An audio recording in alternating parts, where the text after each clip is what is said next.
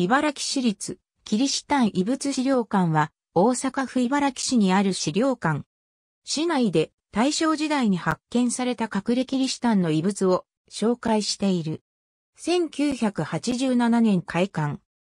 この付近はかつてキリシタン大名として有名な高槻城主、高山右近の領地であった影響で、当時キリスト教信者となった領民が多く、キリスト教近世後も隠れキリシタンとなり、山奥のこの地で信仰を密かに守り続けた人々がいた。1919年に、京受け寺の住職で、郷土市屋の藤波大長が、この地が隠れキリシタンの里であることを突き止め、それをきっかけに、付近の多くの家から隠れキリシタン遺物が再発見された。当館はこれらの資料を広く公開することを目的に、地元仙台自治区から土地の提供を受け、茨城市によって建設された施設である。1987年9月に開館した。なお、普段の管理は地区の人々の持ち回りによって行われており、当館に資料を提供している隠れキリシタンだった家の人も多いため、日によっては受付の管理人から興味深い話を聞くことも可能である。規模や展示品の数は決して大きくはないが、周囲には隠れキリシタン遺跡も点在しており、合わせて訪問すべき資料館である。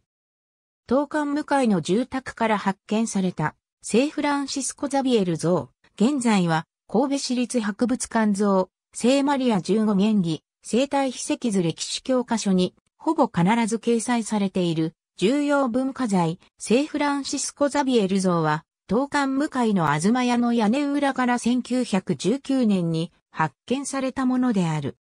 それまでは、開けずの筆と呼ばれる箱に他のキリシタンの信仰に関係する品々とともに、秘蔵され、他人にその存在を明かさないだけでなく、家人も箱を開くことはタブーとされていた。現在は神戸市立博物館像となっており、当資料館には写真で展示されているが、開館時は原本が特別に神戸市から貸し出され展示された。東屋にもう一つ伝わった絵画重要美術品聖マリア15元儀図は、かつては原本が展示されていたが、現在は年1回2週間程度の特別公開時のみ、原本が展示され、普段はレプリカが展示されている。近年まで本来の設置場所にあったキリシタン墓碑は、設置場所が新名新高速道路の建設予定地になったため、現在は資料館内に移設されている。工事完成後は代替地に置かれる。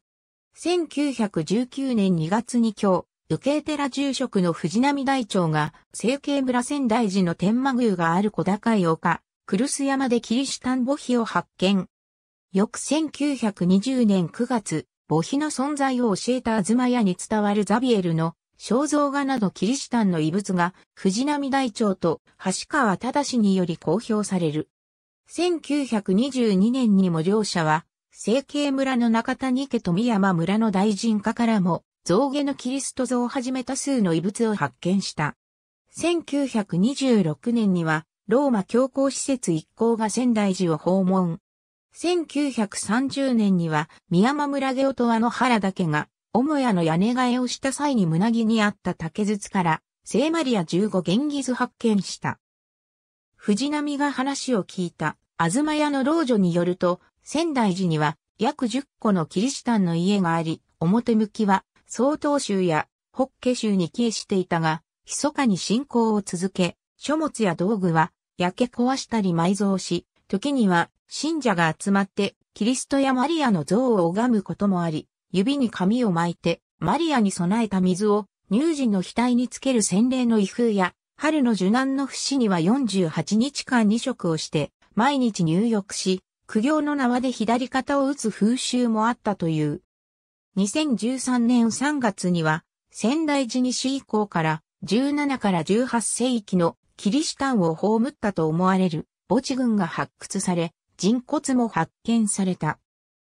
ABCD、百済観音イデア書院、浜田清涼、1926、P528 から548、ABC 茨城市立、キリシタン遺物資料館、開館25周年記念展示世界へ羽ばたく、キリシタン遺産茨城市、2010年12月、日本美術史研究座歌から観光会、浜田工作、1940p339、大阪、地理、地名、地図の謎以外と知らない情報の歴史を読み解く谷川明秀実業の日本社、2013、九州だけじゃなかった大阪にも隠れキリシタンの里があったのこう。ありがとうございます。